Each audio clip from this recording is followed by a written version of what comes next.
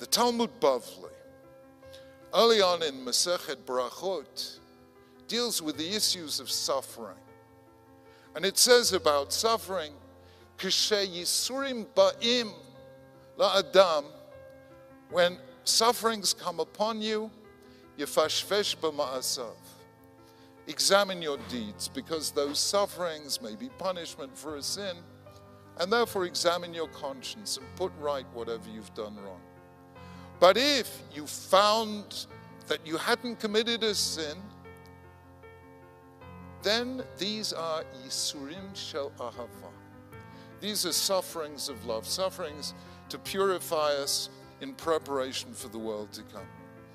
And that is what the Talmud says.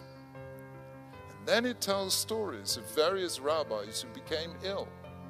And according to the Talmud, they should have been either doing tshuva or rejoicing in the sufferings of love. And when they are visited, their visitors say, Chavivin alacha yusurim? Are your sufferings precious to you?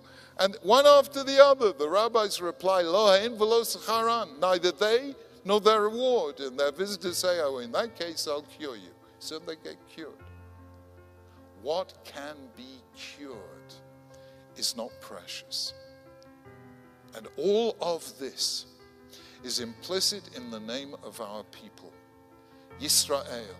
Kisarita im vim anashim vatuchal. We are the people who never stop wrestling with God, and He never stops wrestling with us. We never stop wrestling with the world, and the world never stops wrestling with us. We don't accept. When we see evil, we protest. The world has suffering within it.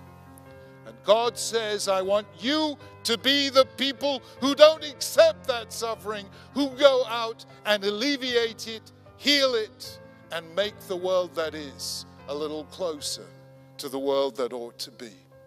And that is our challenge, our life.